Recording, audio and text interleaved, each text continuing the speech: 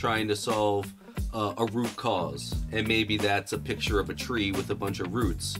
And at the top is all the things that you see as pain points.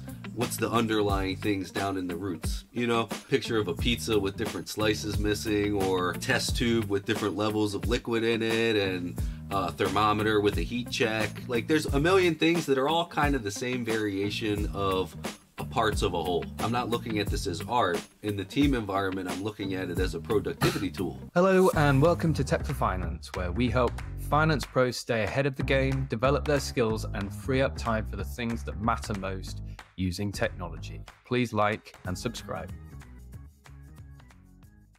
Hey everyone, so today we have the pleasure of introducing Mike Manalac, accounting manager at Google, also runs Mike from Accounting. Um, he's written a book, No Flux Given, um, and we'll, we'll, tell you how to, to hook up with him a bit later on. It's just it's Mike from accounting.com, isn't it? Um, but really, uh, really pleased to have you on the show, Mike. We've been, we've been speaking for quite a while, haven't we? It's taken us a, a while to have this conversation, so it's good to finally have you on.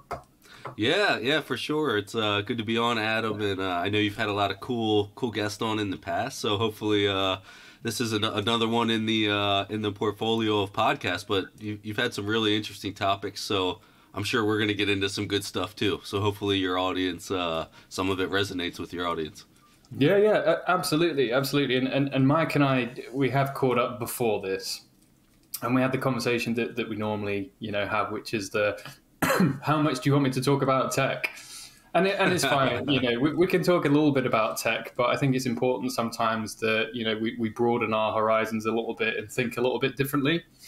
So having interesting guests like you to um, challenge us challenge us to maybe think a little bit differently, I think is is a good move every now and then. So uh, no, re- really appreciate you coming on. So I want to start with one of your passions, which is which is drawing, right? So if you go to the website, you'll, you'll see, um, but they're amazing. Um, so the way that you describe it is um, you can bring an idea to life in minutes, no AI required. Right? yeah. And um, if you go to the website, you'll also see, and, and I don't know whether you've still got it, Mike, but one of the walls in your house is a big chalk mural, isn't it? I should have done. We should have done the podcast in there. I got a big to do list on it today, so uh, I'm not going to expose everyone out to my 15 bulleted uh, to do list, but yeah, it's a full full wall in the kitchen. That's a chalkboard wall, and uh, use it to as kind of like a you know different mural. Or if I ever have like an idea of something I want to you know put up on the wall, I'm able to do that. So it's it's pretty fun. And do you so do you do you wipe it clean every day, or do you just like keep stuff up there to remind? How how does it work? Uh, yeah. Sometimes I use it more for like a list or something to to jot a note down. Those kind of things I'll I'll wipe down every day. But a lot of times I'll use it if there's like a holiday coming up or we're having like some people over or a party or something. Uh, if it's themed or I don't know if if I just have an idea of something to put up, I'll try and do it because it's floor to ceiling, you know, end to end. Uh, I need a ladder and everything to kind of put the whole thing together. So I'm not erasing that every day. If I put something up that's full scale wall size, it's up for at least uh, three or four weeks until I get bored of it. But um, a lot of times it, will be like I'll put something up for Christmas and then, you know, come February, I, am kind of a little tired of seeing the Christmas stuff and I got to get rid of it. So, but it's a it's a fun fun way of keeping things fresh. It's hard to pick out wall decor. I feel like that that doesn't get old after a while, so that helps. What where did it come from?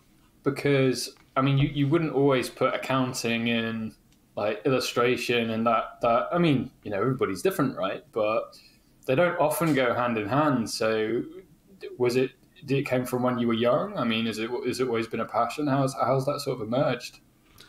Yeah, well, first of all, thanks for the kind words on like some of the drawings. I, I it's funny, like I'm not. I, I look at them as a little bit of a, a, a grade above maybe a doodle or like a cartoon. so that's not uh not not trying to put out the next Mona Lisa here, but um but yeah, it's it's mainly just been uh, a hobby of mine growing up. Like I think most people kind of draw when they're they're younger or, or doodle and things and it's it's kind of funny because I think you have you have young kids too. I've got a kid in daycare now. They have like crayons out. They're drawing. They're doing arts and crafts every day, at a certain point, I don't know, middle school, seventh, eighth grade or something, you kind of stop doing that. The whole creative push from the educational institution kind of slows down. Um, and I think people just kind of lose it. And then I think the other thing is if people draw something and it, it doesn't look like Mona Lisa, you know, they feel a little there's there's criticism and people just kind of pull back, so they stop playing around with it. Um, for the most part, I never really, I never got fully into it. Like I was drawing and trying to to take an art route by any means but was always a big note taker so was always jotting little pictures down on the side of my notes and um, and then that's kind of progressed a little bit. I, I, uh, i'm on a big team at work and when i was living out in san francisco we used to do uh, a card for everybody's birthday or work anniversary or engagement or any of those. Every day you'd have like three there's 100 people on the team there'd be like three cards on your desk. And they all said the same thing congratulations happy birthday. And uh, for some reason i didn't want to just say the same thing over and over again so i would draw a little picture. And uh, it ended up actually boosting my drawing skills pretty good just because i'm always drawing in these cards. And um, i started doing that and and that kind of got me into thinking well i wonder where else i could incorporate drawing into uh, the accounting space. Because to your point like it, it, it doesn't really go hand in hand. It's not like a natural marriage.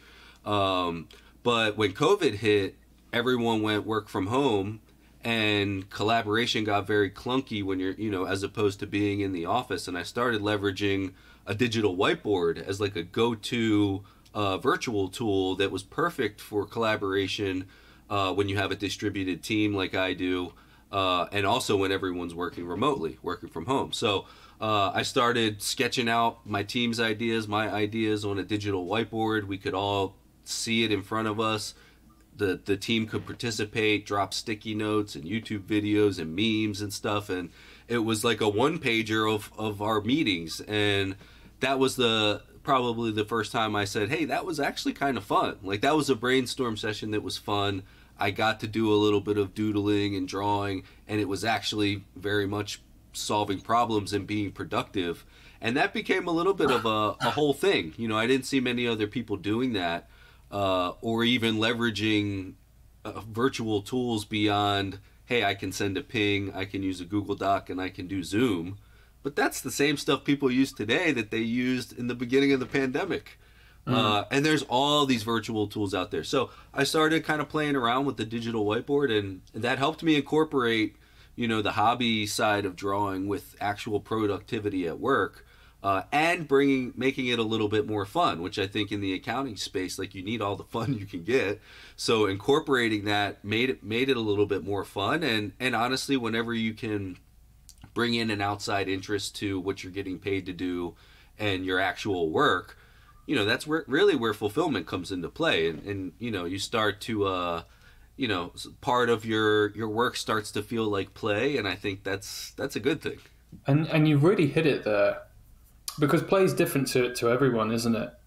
And and I, I, keep meaning to do this because I mean people can see there's like drum kits and guitars about and that yeah. sort of stuff. And I feel like I've lost touch with it a little bit because and can't blame the kids for everything, right? Because I still find the time to record podcasts and produce content and all of that sort of stuff.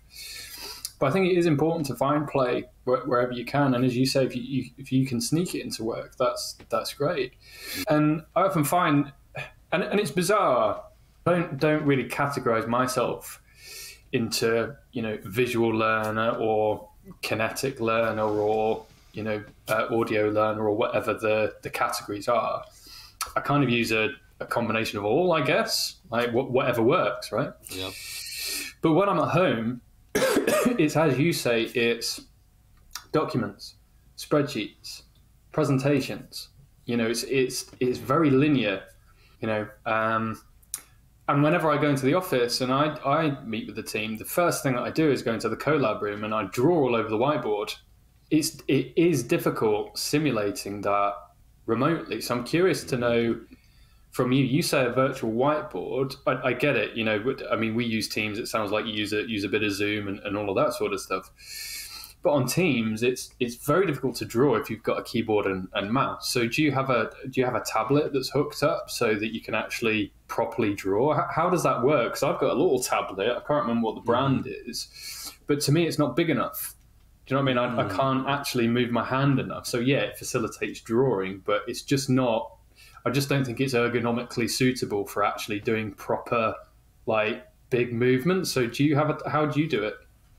Yeah, uh, there is a hardware component to it, and uh, so I have a tablet. It's a Galaxy tablet, I think S7, so maybe a, a, generation or two behind, but comes with a stylus. It's called the S Pen. You know, it's not. I think it's partially a productivity kind of tablet, but really, it's like an entertainment tablet. Like it's not solely meant for uh, you know virtual digital whiteboards and stuff, but you can. It's very versatile. You can use it in that way. So that's one where, to your point, drawing or trying to write something out with your mouse. I mean, that's that's a pretty bad user experience. People aren't going to really do it. Uh, what I've found too is that if I'm able to lead the session with the tablet and the stylus and get stuff out there, um, to, to ask everyone to do the exact same thing I'm doing is very uh, daunting, and I think you know, you give you give an accountant a pen and say draw something or put something. You know, people kind of get scared and skittish, and in a collaborative environment, you're trying to have like an open, safe space. So, uh, what I like about digital whiteboards, it's it, drawing is the function I use a lot to kind of keep everything together and and make it more dynamic. But other people are using other aspects of that whiteboard, like I had mentioned dropping in sticky notes you can add text boxes you can drop in a picture you can do wireframing. You can draw arrows from one thing to another thing and, and videos. You can actually embed like a Google Sheet or a Google Doc. And if you update it in the whiteboard, it actually saves it into the cloud, like into the spreadsheet. So a lot of what I'm using it for is I'm probably the main one using the stylus and the sketching out uh, the team's thoughts and ideas, trying to connect some of those dot, dots but others are using the other features that are maybe a little bit easier to to use from the functions of the application of you know if you're using Miro or the you know like you mentioned Zoom has a built-in whiteboard uh, mm-hmm. um, Slack has another one Teams have has another one they all have these digital whiteboards in the finance space if you were to take a poll less than 5% of people are using them you know, they exist everywhere. They're within five clicks of everybody, and nobody's using it. And for me, that that also was like, well, maybe that's an opportunity. That whole aspect of a, a digital whiteboard is built for collaboration, and yet nobody in finance is using it that way. So there is some little hurdles, like you said. Like not everybody's gonna whip out a tablet or a style, you know, have the stylus and stuff, but um, you don't need everybody to you really just need everyone participating in the discussion in whatever way they feel comfortable with. And a lot of people, even if they had the tablet, the best, they had the new Apple Pencil and tablet and everything, they're not going to feel comfortable, you know, writing stuff out uh, on a digital whiteboard, and that's okay. I think you you just gotta kind of gotta find how what's the best way of getting the great insights that are in my team's head out onto something tangible that we can move around and sometimes that could be in like I'm sketching it out with with the stylus, and sometimes that can be a text box that I'm dragging around. And uh, I think that's what makes the tool really cool. And I'm always shocked that not that many people use it, but you know that could change. You know, with the the work from home shift becoming what looks to be permanent, at least in a hybrid way, people are going to need to start to leverage those other tools because collaboration is very hard to do in a remote space. You mentioned it yourself. You get in a room, you can get on that whiteboard. That's very clunky to just pick that same process up and take it home. And eventually, I think work from home is not going away. And I think leadership is going to need to find ways of, you know, promoting some of these virtual tools and making sure that uh, their staff are trained and upskill themselves to really lead a team in this new environment. Because for right now, nobody's really been trained in how to lead a team virtually. It, it kind of just is like go wing it, and I hope you can do it. You know, so it's a it's a funny time to be in corporate America or, or even in the business world. I'd say. Yeah, and and, and I I struggle. So so I'm I'm fully remote. I go into the office once a week, and it's it's great. you know, because that's the day of meetings and we, we can collaborate. You know, it's it's mm-hmm. one of the the company values is is collaboration. But from a remote perspective, it's it's difficult to distance yourself from from a world outside of a screen, a keyboard, and a mouse. Yeah. And and just as you've been talking through that, um, I've got an iPad, like quite a nice iPad. It's an iPad Pro, so I, I, need, I probably need to find a way to hook that up to my PC, don't I, and just use it as a as an interface. I can probably do that, yeah. right? I'm sure there's a way of doing that. Yeah, I mean, a lot of the stuff is in the cloud, so you know, is if you can share your screen, which everybody knows how to share their screen in a virtual meeting, well, you just pull up a new tab and you pull up a digital whiteboard. You know, it's uh and or you use the built-in application through the interface of like mm. Teams or whatever. So that's what I was saying. It is so easy. You don't need some fancy HDMI converter to USB C to lightning cable. You don't need I mean you don't need any of that. So the the barrier to entry isn't necessarily the tech. That's kind of why I didn't mention it too much. I think it's there. I think the barrier to entry is just it's an atypical way for accountants to work and other finance professionals. But when when you see it happen, it and and people are engaged, uh, I think it's hitting all the right notes. And if if you look at other, you know, I'm fortunate to work with occasionally some other design teams and engineer teams and product ma- managers. To them, that's a fluent way of doing something is to jump on a whiteboard and and and you know workflow out something. And the collaboration is really fun to be a part of. That hasn't translated to the business teams, even though it's working so well on one side of, of the house. And uh, and I think it's unfortunate, but it's also I think ripe for opportunity. There's no reason we don't use it other than it's unfamiliar. I think realizing it, I think most people remember visuals more than heavy text or even like slide decks, especially yeah. if they see stuff being created in front of them. So they say obviously a picture paints a thousand words, right? And and that's mm. true. But I'll I'll caveat that by saying that seeing a picture being drawn goes a step further than that because I, in my view, it helps internalize the A to B, the mm-hmm. step one to step two. If you can see the ways that it is built up in the way that you're saying you're doing. So, when you have one of these sessions, what's what's your go to visual? Is it like um, a central theme and then you've got your strands branching out with input or is it more like a, a, process flow? Are we talking boxes connect with with arrows? What's the i'm just trying to match up the sort of conversation that you'd have as an accounting team and how that how that makes its way onto a visual discussion versus a sharing documents and slide discussion. Yeah it's a it's a good question and i think maybe that's one of the biggest barriers is when you're looking at a blank page or a blank whiteboard it's very daunting you know like we always talk about being able to succeed and and and navigate ambiguity there's nothing more ambiguous than a blank piece of paper you know uh, or or something like that so um, the recommendation I give, and I actually have a course out there called Sketchy Business Practices, which gets into this a little bit more. But one of the tips I give is is uh, if you don't know what to do, draw a circle and put the topic in the middle of it. And then it just becomes a mind map. You have the spokes that come off of it with the different ideas that your team is shouting. That'll usually highlight a theme. You know, you step back and you look at what kind of theme is coming from that. Maybe it's a problem to solve. Maybe it's a process efficiency that seems kind of clunky.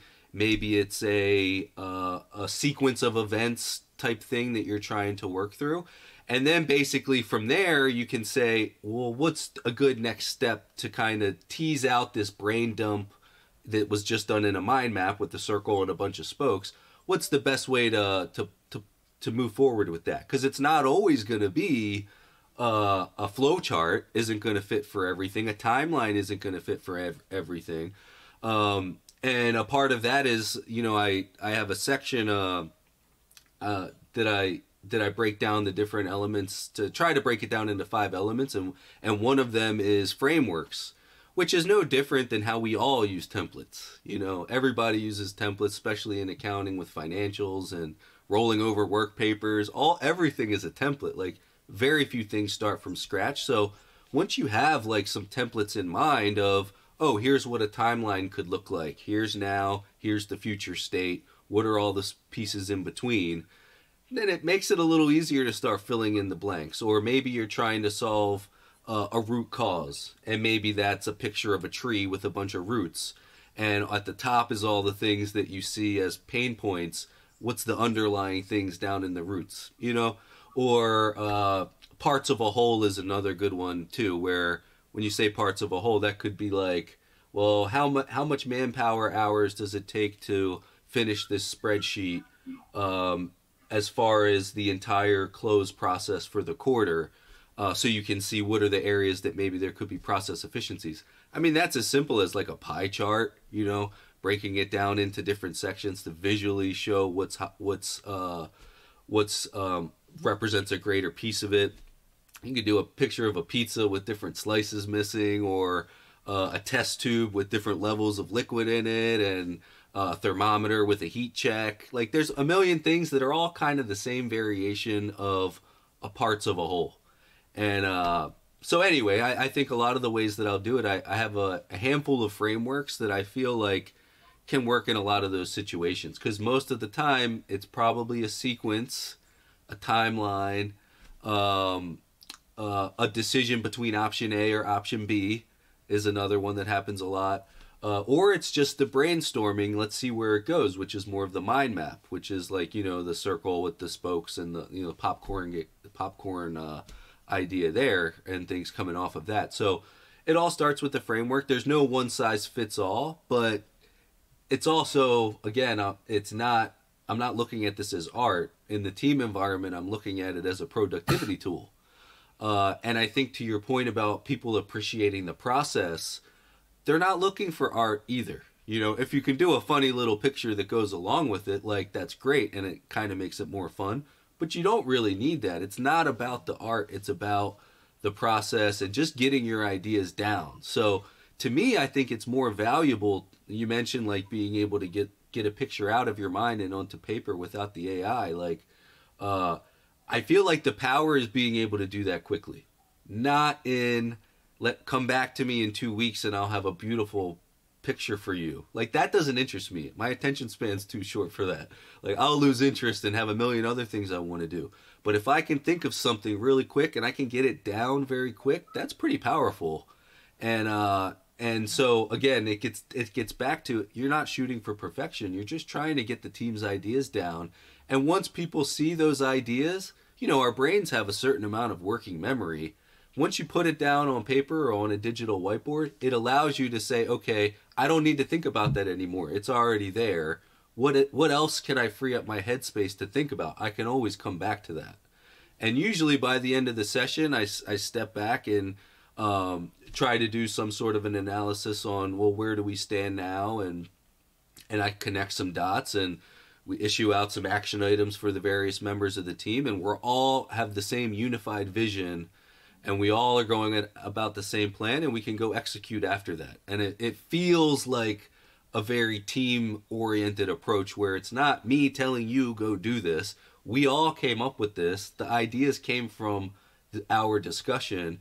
And then it makes it a little easier to motivate people to kind of go forth and, and work on that project because it's not like a directive mike told me to go do this so i'm doing it. Like this is a team thing. We all bought into it um, so it's and that's that's what collaboration really you know is the byproduct of collaboration, which is why everyone likes to say collaboration is important. But I don't know that everyone is that great at collaborating. Yeah, c- collaboration is not sitting in a room and going through some KPIs. You know, it's it's not a review of what's good versus last week versus what's bad versus last week. You know, that's that's not ca- collaboration. That could be done remotely. You know, might, yeah. that might not even be a meeting. You know, yeah. that might just be like a one pager. Right. you know, or or a video that I could record of myself running through a slide deck. You know, that's yeah. that's reporting. That's not collaboration. So you say the collaboration comes from that that shared idea piece, and and coming back to what you've just said there in terms of inspiring and having people take something away, I think you're absolutely right because, firstly, there's an extra element of joy in the meeting. Yeah, so, so they're they're likely to be more receptive and more excited about sitting in a meeting with Mike. Oh, I love getting into meetings with Mike because you know he draws all these cool characters and you know everything makes so much sense because I can see it on one page. Mm-hmm.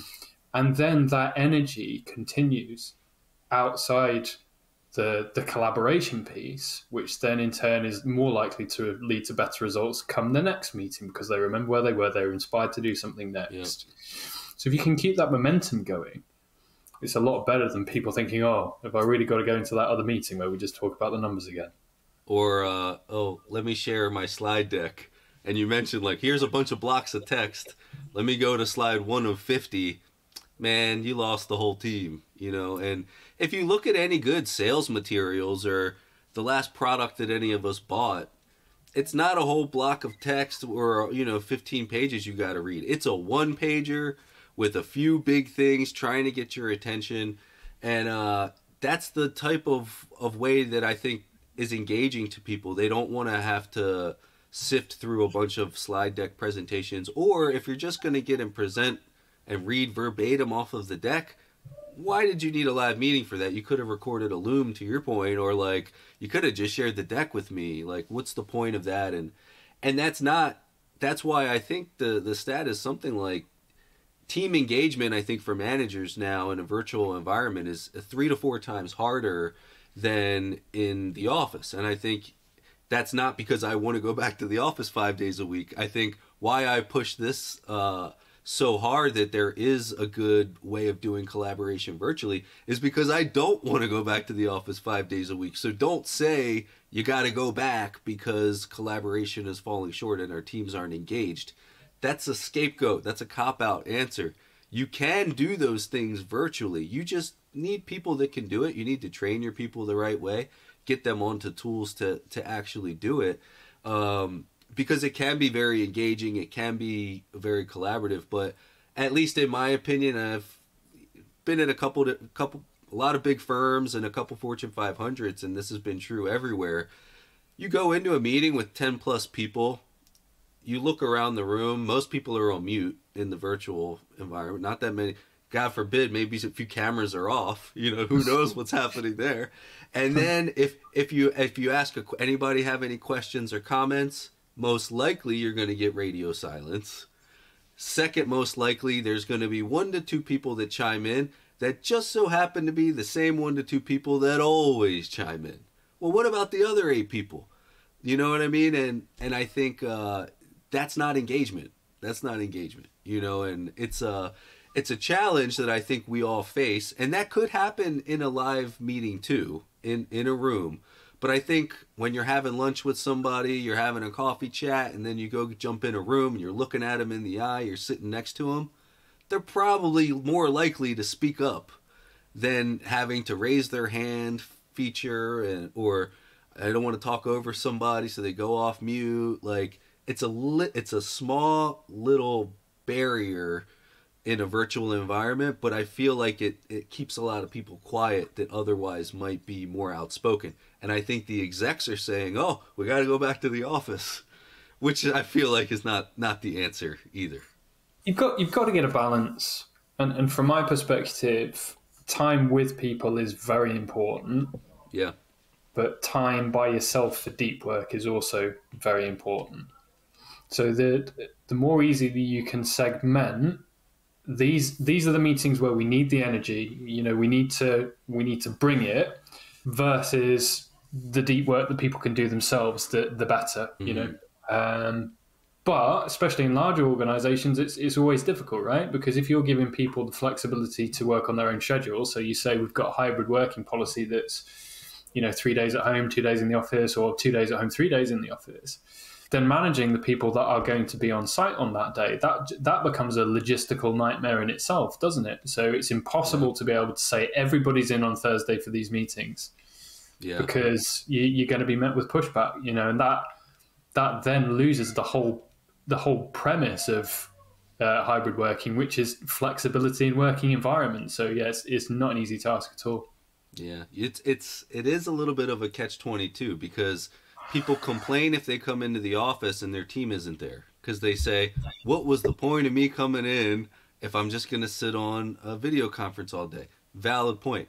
But then if you tell them, "Okay, let's all come in on Thursday," then you got people saying, "Well, don't tell me when to come in. Like I have three days, I get to pick and choose."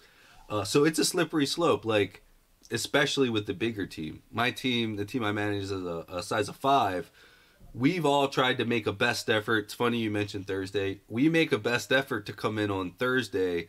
Whatever you do with your other two days, it doesn't matter what days those are. But if we can, let's try to be in the office on Thursday. Obviously, stuff comes up. But that just gives us a better chance of being able to run into each other. It sounds like we eh, we structure it similar to your one day in the office, where that's a very live meeting heavy day. Our brainstorm meetings are that day uh, we have team lunches and all those things because I agree. Like, I don't personally want to never see my team in person. Like, I want some of that. I think there is value to that, but it doesn't need to be five days a week. It can definitely be less than that. Um, but it, it's hard because trying to get everyone on the same schedule is is one part of the challenge. The other part of the challenge is, I mean, most in bigger organizations especially but even in smaller organization organizations where you're outsourcing pieces of your work or subcontracting you probably have a distributed team anyway where they're living across the country or you know you're in the UK and I'm in Chicago in the US like it doesn't matter. We're never going to be able to all get into the same office. That's not an excuse to say we never work with anybody outside of our local location. That's that's kind of an ancient way of thinking. Um, so there might even in those hybrid situations where where the team that sits in Chicago with me is there with me on Thursday in the room. I still have people in LA that are video conferencing in and other people from Austin, Texas conferencing in. I'm not going to get around that. But at, it's about as close as you can get to all being in the in one room at the same time. And uh and so that's what we shoot for. But it, it definitely takes you know a, a lot of people getting on the same page and and being flexible too with if you're sh- if you're trying to get the ideal scenario where you're all singing kumbaya in one boardroom it's probably not going to happen even in the best case scenario you mm-hmm. know yeah and it, it'll be interesting to see how it goes because I mean, forgetting about the AI piece for a second, which of course has, has gone mad recently, people, maybe because they're distracted by the AI piece, aren't seeing some of the amazing stuff that's happening with with hardware. So you you mentioned obviously your your Galaxy Tab, which is you know your hardware that enables you to do the whiteboarding sessions. But I, I kind of feel like um, was it the the latest Apple release? I can't remember the headset, which was the the augmented reality piece, and there was there was YouTube videos of like uh, teenagers sitting on the train, like you know, work, working through his because because he had it in a like a virtual reality yeah. environment around him, right? And I feel like they've been downplayed a little bit because there's been a you know more interesting and more sort of like job threatening focus. Oh, I don't care about a headset. I'm worried about you know how AI is going to take over my job. But I, I think it's important to see that. And and I read something today as well about smart contact lenses which I, I had not heard of before. I'd, I'd, heard about the smart mm. glasses, and I've seen the adverts, you know, for the Ray Bans that have got like the the little, um, you know, uh, the little lenses that can produce visuals, like a heads-up display sort of thing. Mm-hmm. But they're now uh, creating technology that these smart lenses can charge themselves from the moisture in your eyes. Wow. You know, and and that that it is insane. That's absolutely insane. insane. You know, yeah. so so right now we're talking about how there's a barrier to you and I sitting on the other side of the world to each other. But I, I, don't think it's going to be long before we can sit in our pod. You know, so I won't have an mm-hmm. office. I'll have an office pod with a 360 surround or a visor or whatever. I can almost sit with somebody in person because we're both in the metaverse. And I mm. know that I know the metaverse is there's been a lot of hype around that. I think mainly because people don't understand it, and also because nobody's actually really managed to illustrate clear use cases apart from putting on some goggles and pretending you're like some sort of cartoon avatar. Yeah, so it's not it's not real enough yet, but it will come. But I'm interested to see where it goes because we talked a little bit about energy there, you know, and, and to use another example from today. So I was one of the few that was actually remote today, and there was a team of eight in the office that I was I was leading a session with. And people know me, like I'm quite happy chappy, you know, I'm, I'm quite energetic. I've got a lot to say. Right? So it's been a useful exercise for me having these podcasts because it trains me not to speak over people, which is what I used to. we used to do that quite a lot. But I was bringing the energy on my side through my camera. But for whatever reason, I don't know what happened in the office, but the eight people on the other side of the camera it was it was like somebody died, and I don't know oh. what had gone in the office, but there are eight people that were highly distracted. and their mind was obviously somewhere else, and I can jump around and you know swing my arms and shout as much as I like, but my energy isn't going to compensate for the combined lack of energy across the eight people in the room. Yeah. So the reason I mention that is, yes, we might in the future have the tech that enables us to virtually place ourselves next to each other but are we going to have the physical energy?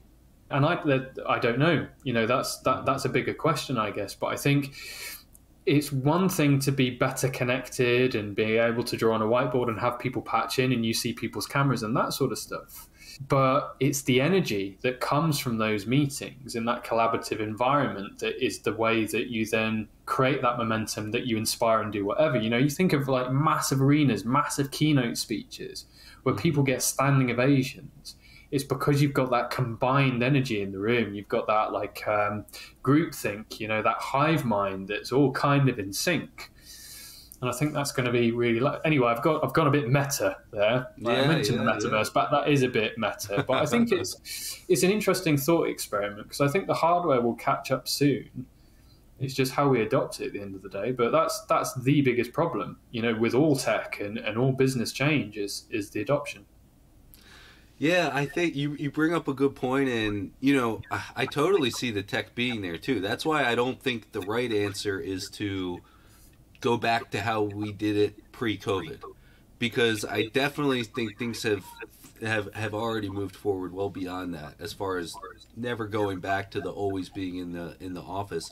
It'll either be hybrid and the hybrid version will probably be more of this virtual type environment and maybe that's in a vision pro where somebody's holding a meeting on the train right?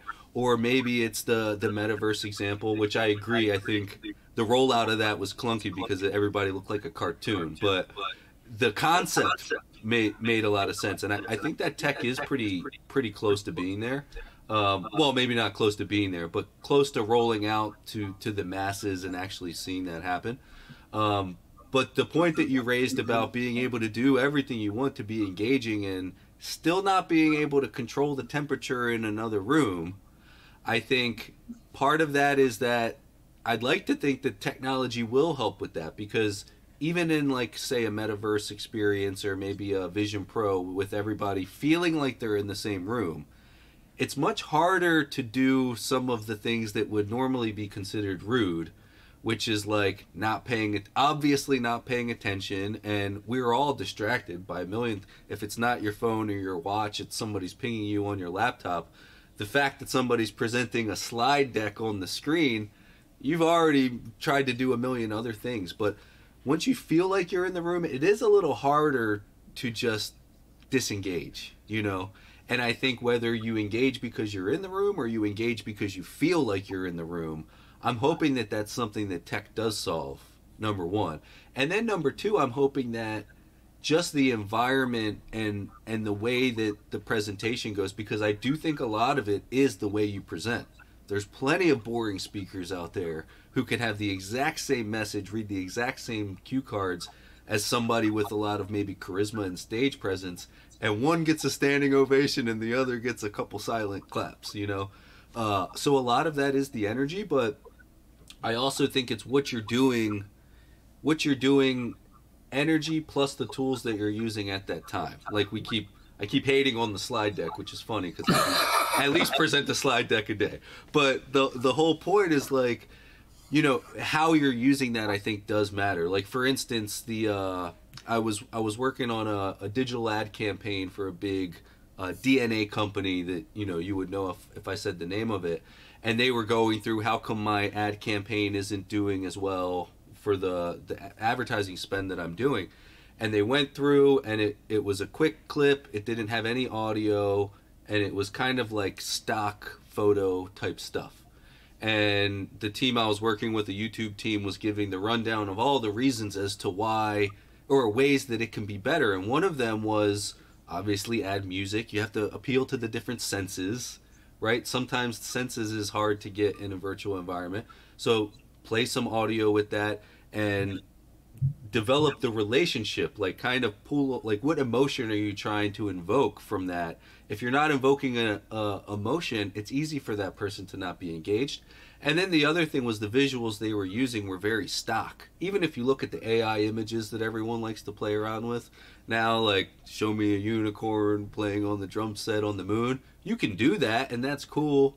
It's a good no- like a novelty kind of thing but it's all starting to look the same and one day that's going to look like the old clip art. And one of the things that came out of that uh, presentation from the youtube team was uh, hand-drawn images because they're imperfect they stop the scroll. And people it catches their eye because it's different because most people aren't doing that. So i think there's more of that. Yes it's the tech. Yes it's the engaging leader. But it's also what tools are you using within that environment to evoke emotion outside of the engagement outside of the the the, the leader being engaging. How are you appealing to their senses with with the right visuals and the right sound stuff and maybe even like haptic feedback if i were to reach and shake your hand? Like there could be stuff like that you know and and uh, i'm very interested to see where it goes. And if anything i i think it's it's encouraging. I think it's going to make the business more global even though it already kind of is.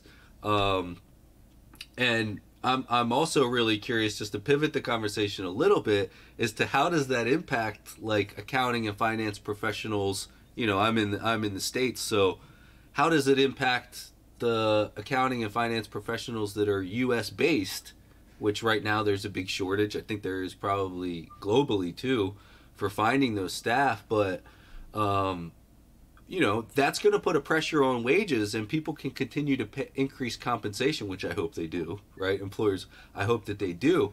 But at some point if you're in this global environment and you take time zones out of it and you can all put on a headset and feel like you're in the same room is that opportunity going to go to this high paid us cpa or is it going to go to somebody in the philippines or india who's doing it for a fraction of the cost? Which in the past used to kind of be frowned upon because it felt like you wanted to keep it local. I think once you become more global, doesn't you know boundaries are blurred big time, and that shortage that everyone's talking about is it is it not as acute as we all think it is because it's just going to be filled with global workers. Uh, it's another thing that I'm I'm curious to see how it plays out too because it's probably really good for those overseas maybe being doing the offshore services might not be so great for the local teams that are looking for the increased compensation and is maybe going slower than they thought. I don't know if you have any thoughts on that. Well, we'll just end up building side hustles, right? maybe, I mean, may, maybe the W two employee is, or uh, I guess I should say, maybe like the forty hour a week employee is now fractioned off, and maybe you everyone has three or four kind of jobs.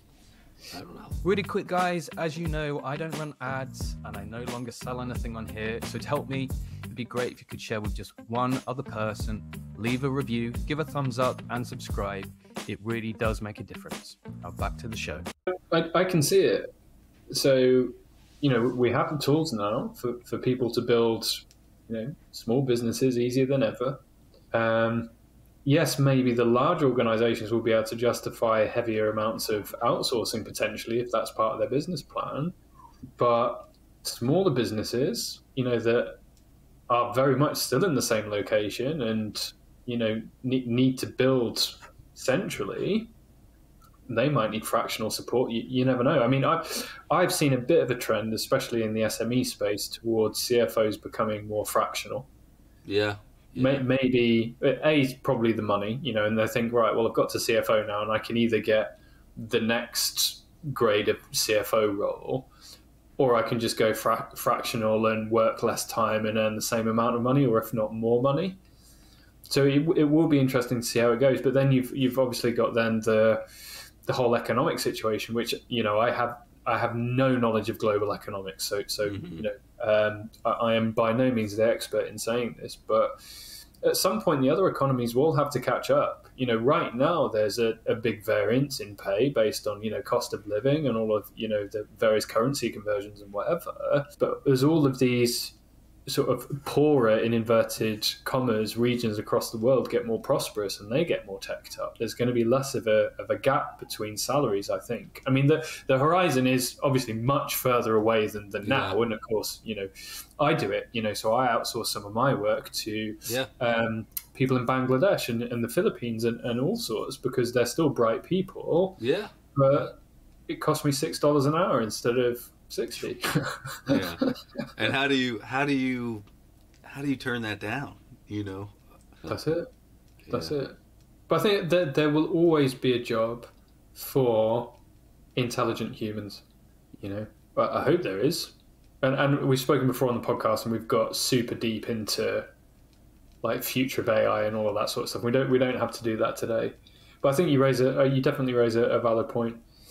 But just bringing it back a, a second, I, I wanted to, to before I forget just drill you a little bit more on what you said about the work that you did with that customer. You know, in terms of the advice around, you know, does it need to be more visual? Does it need to be more, um, what you know, the, some of the stuff that you said there.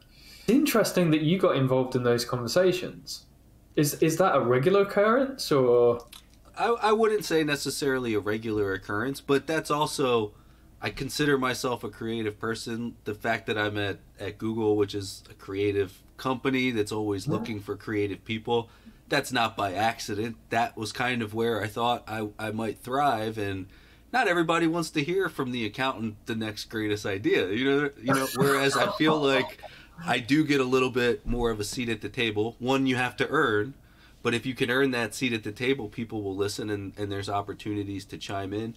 Um, so in that case, you know, the the space that I'm in is I support the ad revenue side of it. So I handle the accounting for all of uh, not me personally, but the hundred person team for all of Google search and YouTube and some other products, uh, which is for anybody who doesn't know, um, Google's mainly a digital ad business is where we get most of the revenue.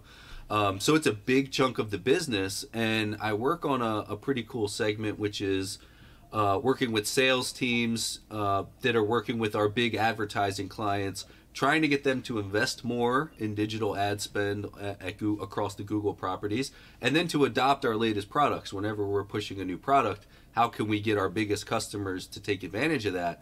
And that usually involves coming up with some deal of hey, you spend some more money, I'll give you some discounts, I'll I'll run some free impressions on your next, you know, World Cup campaign, kind of stuff like that and different incentive packages that are are pretty customized based on, you know, whether you're talking about a McDonald's or a Netflix. Like uh, the the package is going to be very different. Whereas in this ca- in that scenario, I represent the accounting team, and I'm sitting in a virtual room with uh, somebody who's representing the legal team and the compliance team and the engineering team and the sales team and the FP&A team, and and that's where sort of some of those, you know, when people think you're in accounting, they probably are thinking you're working with a bunch of other accountants. And they may not think of it that you're doing a very cross-functional role which there's a lot of cross-functional roles in the accounting space. That's why everyone keeps saying soft skills are so important it's not soft skills are important so that you can talk to another accountant. That's easy. We're speaking the same language. But go try and speak some accounting to like a sales lead or somebody in eng or somebody you know legal actually picks it up pretty quick. But like those kind of things i feel like uh people don't know necessarily think of accounting as a very cross-functional aspect. So in those cases i'd get brought into deals like that where it's like hey we're trying to do this deal. In this case what's the biggest pain point for the customer they're trying to get better, better reach on their campaigns and i'm sitting in the room for some of that not all of it client most of it's not client facing but very much like structuring what we're trying to do and you know, if you're working with sales teams, they're trying to do everything. I'm going to offer everything under the sun. And sometimes they got to get reined in. Well, that's going to really complicate things on my end and trying to get those those sales teams to care that what they're proposing is going to be a nightmare on the accounting side. So um, that's sort of how I fit into the organization. It, it's it's probably a pretty unique side of the business, but it's you know maybe 15 20% accounting and the rest is like project work and and automation and you know my whole team can can write in SQL and we're writing scripts and workflows and things like that. So it's a little different than maybe a typical uh, accounting team, but that's the part that I love too. You know, it's it's not a let me box in this accounting person to do accounting stuff. You know, I have the freedom to kind of stretch a lot of what it means to be an accountant. You know, and I know a lot of your guests. I feel like really stretch those boundaries too. And uh, I think that's part of why I was so excited to come and chat with you because I think a lot of what you talk about pushes the envelope. I think of maybe tradition. Yeah, yeah. I mean, yeah, it is, it is a bit, bit of a niche. You know, I don't I don't have a ton of followers. I mean, you know, maybe coming up to to a thousand, over a thousand followers now. Which I mean, for podcasts, that's not it's not bad going, right? Yeah, I mean, we're coming bad. up to, to seventy episodes now.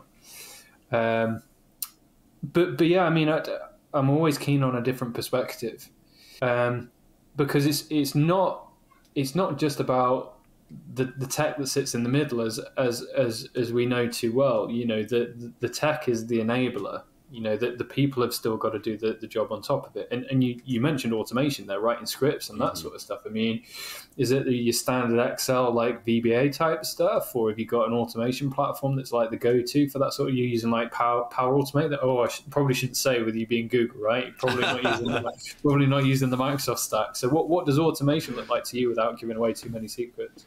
Yeah, it's not the uh, it's not Excel, which is you know the few things that accountants every accountant knows. I was like to consider myself an Excel wizard, but now I'm a Google Sheets wizard, I guess. so Yeah.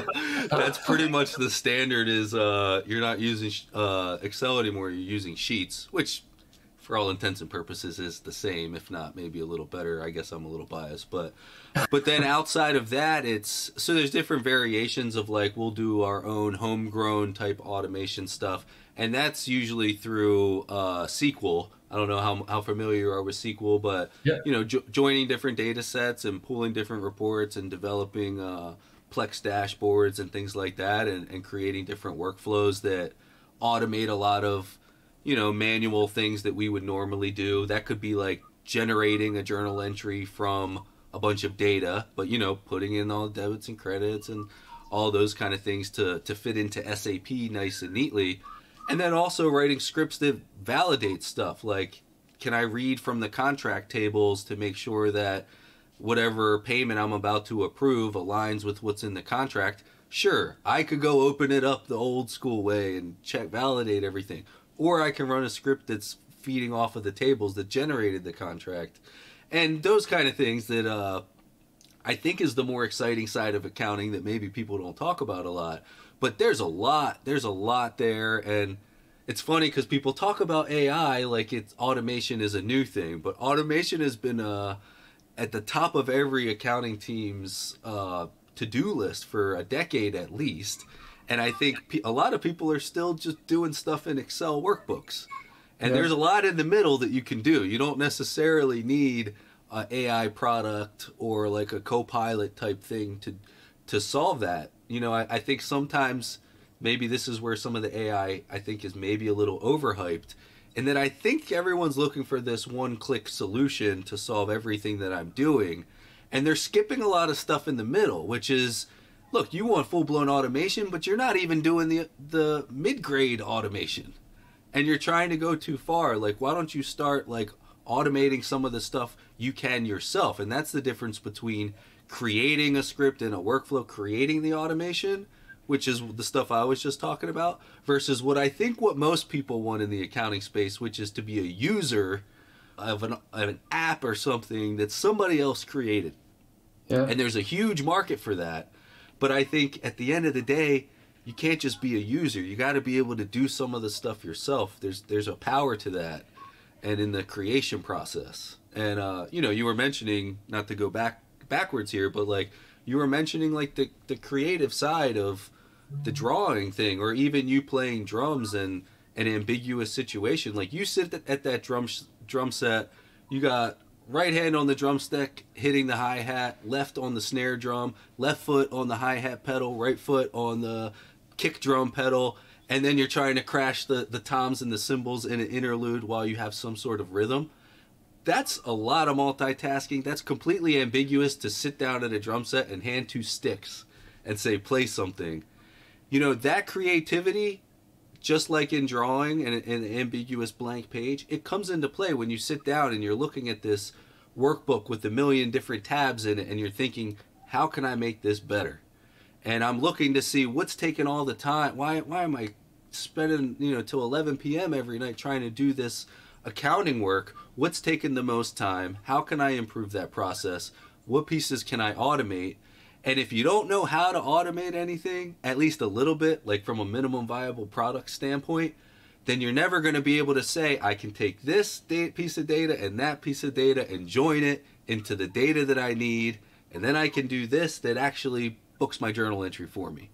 There's a lot of, that's a lot of creativity right there. And I, I don't know that people think of it that way, but you know, you being a musician or an artist or any any sort of creative side of anybody, I think people think they check it at the door when they come into the accounting space. That's on them if they check it at the door.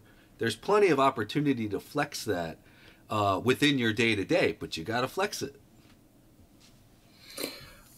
That you, you put that so eloquently, and, and I think you just you just riffing, pardon the pun, on my my drum kit there. Um, no, that that was a great analogy because because you're absolutely right. I mean, there is. Um, there's there's a certain amount of muscle memory that you need to build, you know, and that's that's why they say when you pick up a guitar that you never lose it because you've done the reps.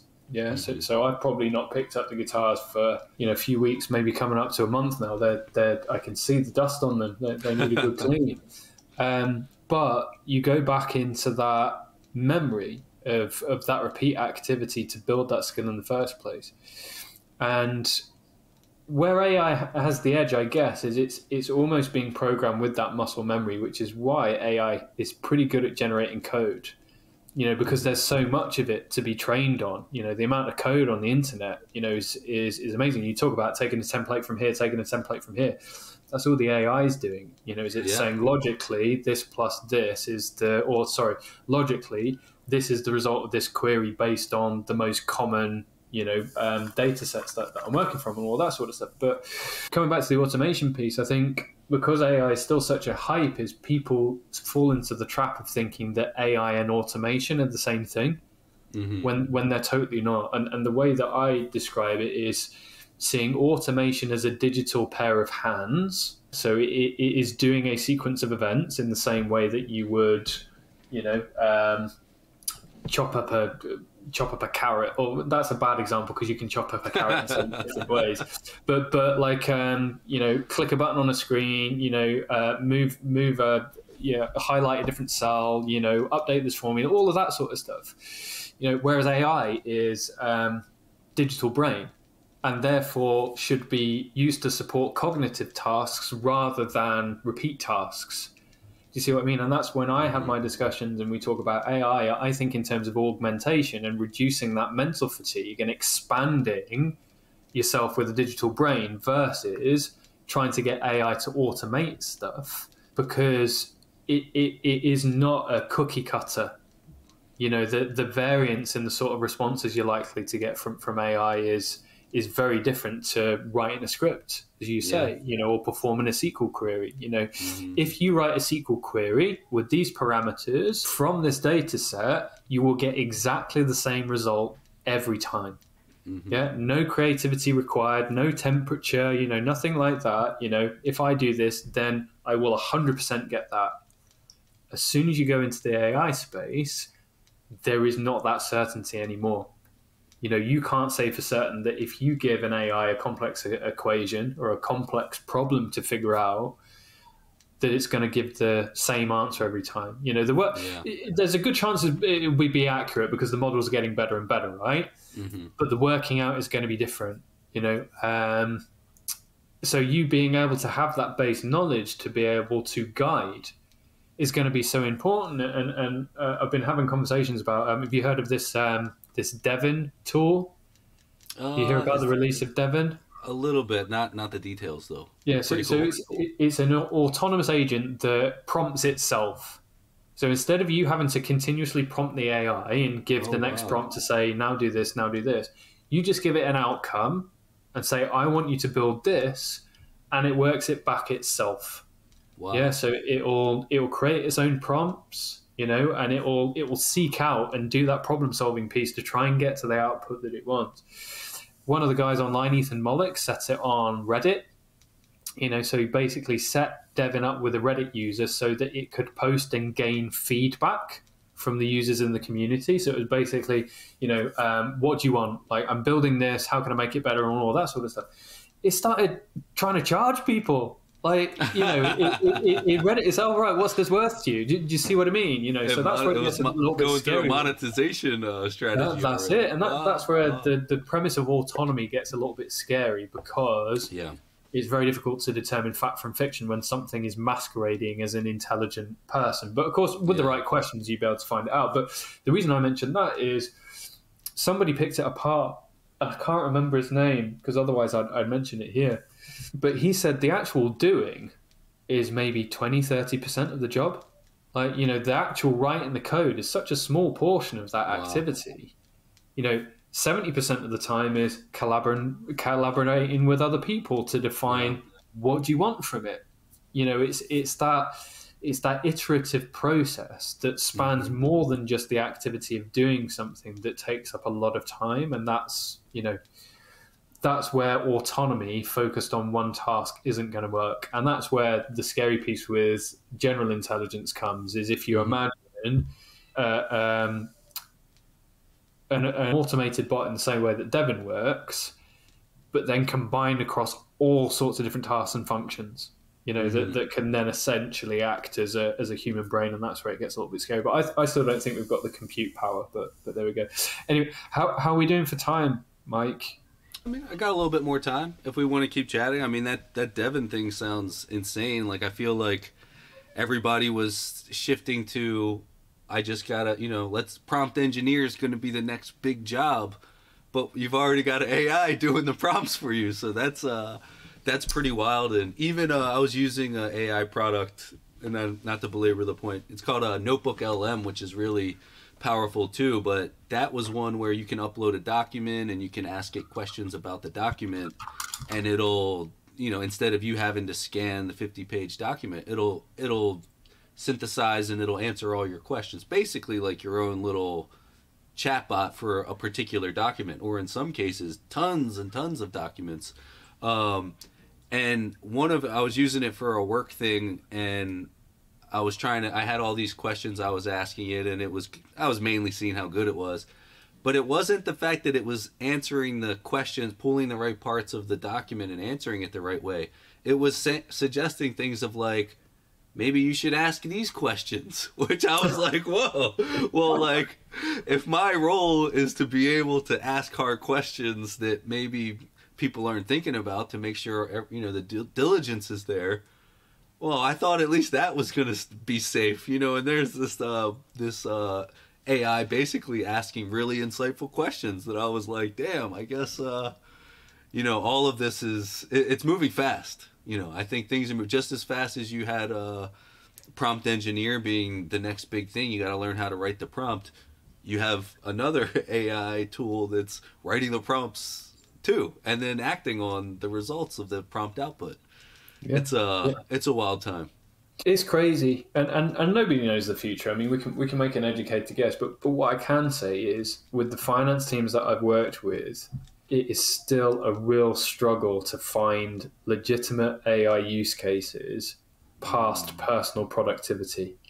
Yeah. So I'm a big fan of AI for speeding up writing process documentation. You know, um, helping with tricky decisions. You know, at, using it as a sounding board. As I say, using it as a second Yeah. brain to speed up and you know reduce that mental fatigue. You know, to, to become more efficient. Right? But then in a business setting, that's where it gets really tricky. You know, because again, I don't think even some of the best developers yet still truly understand how to deploy, say, like an open AI model. AI model Mm-hmm. within a company infrastructure. And, I- and I'm sure people are doing it. Obviously, ChatGPT Enterprise is, you know, on that premise, it's meant to, to, to be built into your, your data. But it still needs training, you know, but Yeah. because a language model that's optimized for chat from a personal perspective isn't going to work if it spans multiple disparate sets of company data. Mm-hmm. You know, you, you're not yet going to have an AI that spans department that can write SQL queries to produce the results that you want in the format that you want to see them in. Mm-hmm. Yeah, it might come, but it's it's still. I, I feel like you know AI at the moment has been just good enough and just impressive enough for everybody to adopt it because it can act as that ultimate productivity tool from a personal Yeah.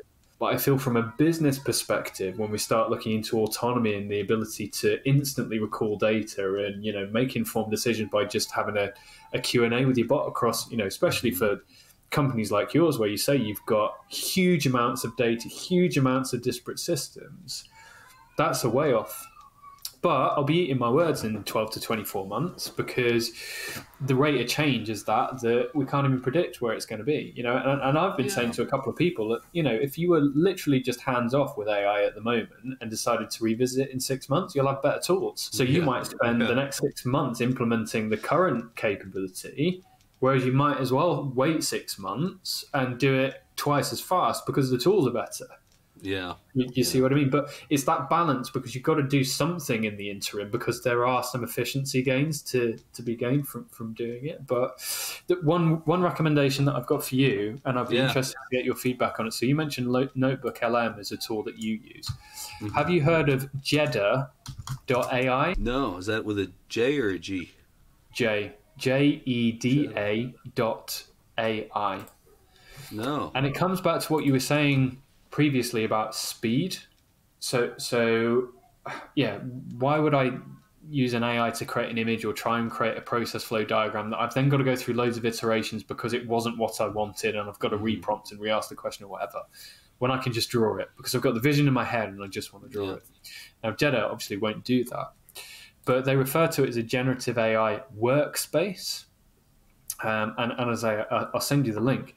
But if you log into it, you are met with a virtual whiteboard. Yeah, Hmm. and it will give you pre-canned visualizations. Yeah, so whether it's a mind map or a process flow, so you can say, create me a process flow for X, you know, and it will produce the visual for you extremely Oh. quickly. So it won't be as good as what, what you do, and obviously it won't be the same as what's in your head getting down on paper. But I was very impressed with A, the speed, and also that you got that instant gratification of having a visual that at least gave you a baseline. Yes, so so with the text-based stuff like your Chat GPTs and your Claudes or whatever, you can get a quick text baseline. Yeah, so if you're writing content or you know writing process documentation, it gives you that starting point, and you're away. Right, that's mm-hmm. that's sometimes the biggest challenge, isn't it? Starting. Yeah, you, you mentioned the black pa- the blank page Yeah. you know whether it's a drawing or a you know a, a, a document a google doc um, you know the, the difficult piece is starting the writing but if you can if you can get it started and, and I, I find sometimes that I'll, I'll have AI write something for me. I'll completely ignore what it wrote for me, but it's given me that kickstart. Enough, I've seen some yeah. words on a page and it's given me the inspiration to continue, even though I've used nothing of what it's Yeah. generated for me. Yeah. And, I, and I feel a little bit like that with, with Jeda AI. So I, I definitely have a chat about it. I, I want to get the dude that runs it on the podcast because we're connected on LinkedIn and we were due to, to have a bit of a meeting. oh, cool. But that's that's one of those where I look at it and think, actually, from a you know quick visual, Yeah. let's get a bit of inspiration. Um, I, I was quite impressed by that, but no, it's it's, it's, it's obviously not Mike Manalac level of mind mapping collaboration. it's But, probably it's probably ten times more in in a lot of ways. But I'll have to check it out because I I totally agree with you. Like, I think people kind of there's always these mini barriers to the next step that slow things down. And I think if you don't have to think about a starting point for well, how do I visualize that, and then it just pops up. You're kind of already advanced. To your point, there the barrier has been removed, even if it's not exactly what you want. Like it moves you forward, And uh, there's a lot of value to that, and and I think that's where most people are using it mainly, myself included, which is kind of like a productivity hack. Mm-hmm. Like you, you said, the second brain. You said like bouncing ideas off of. I feel like that's where it's helped. Or I could spend, you know, 20 minutes revising this email to make it more concise, or I can just see an example really quick in five seconds what a more concise version would look like. Excuse me. Um, but I feel like that's how most people are using it. The end to end thing is really hard, but maybe maybe you don't need the end to end to be very powerful and you know an incredible advancement. And it's just the productive individual productivity hack that's still not bad. You know what i mean? I think maybe the end to end is hard to do because there's so many moving pieces even for something simple you would have to write prompt after prompt. And even if there's something that can generate the prompt does it know all the different details? And i think that's sort of where they you know you always hear the output's only as good as the person who can review the output to see that it it looks right because ai is always 100% confident and it could be completely false but it sounds so damn confident that it makes you feel like it's it's gold as an answer so I don't know. I, I feel like I'm I'm curious to see how far we can take even just these productivity hacks on an individual level because I think you can take it pretty far. Yeah, I mean, I you know I, I wouldn't have been able to do what I do and have great conversations like this unless the tech was supporting me to be efficient in what I did. Mm-hmm. Yeah, because you know nobody's got an easy job. You know, jobs take time. People quite often work overtime you know, especially if they want, you know, they want to get promoted and all that sort of. Maybe we have you on again because I know your your book is entirely about you know um, acing your interviews and, and, all that sort of stuff. So yeah, no flux given. Def- definitely check it out. Um, but it's it's one of those where if I didn't have a decent set of tools that in reality I pay peanuts for, mm-hmm. I wouldn't be able to produce any of this stuff. So yeah. so yeah, I, I would be yeah, we wouldn't be here without the tech. Essentially, yeah. is, is, the short way of saying that, right? So, yeah. you know, I think I think I think it's all it's all valid points. It's all really valid points. So, Mike, do you want to tell people where they can find out more about you?